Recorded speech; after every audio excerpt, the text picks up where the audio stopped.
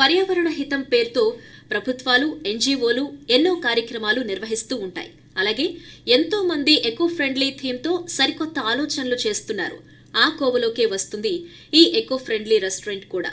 Taiwan Taichung పట్టణంలో కార్టన్ king restaurant ఉంది. విశేషమేమంటే ఈ రెస్టారెంట్లో ఉన్న ఫర్నిచర్ అంతా అట్టలతో తయారు చేసిందే. టేబుళ్ళు కుర్చీలు కట్లెరీ ప్లేట్లు గ్లాసులు అన్నీ కార్డ్బోర్డ్తో తయారు చేసినవే. ఒక్క ఆహారం తప్ప. అంతేకాదండోయ్. ఈ రెస్టారెంట్లో పేపర్తో తయారు చేసిన Eiffel tower leaning tower of Pisa windmills వంటివి ప్రత్యేక ఆకర్షణగా నిలుస్తాయి. ఈ ఫర్నిచర్ అంత త్వరగా విరగదట్లేండి. భయపడకుండా కార్డ్బోర్డ్ కుర్చీలో కూర్చుని లంచ్ డిన్నర్లను ఆస్వాదించవచ్చు.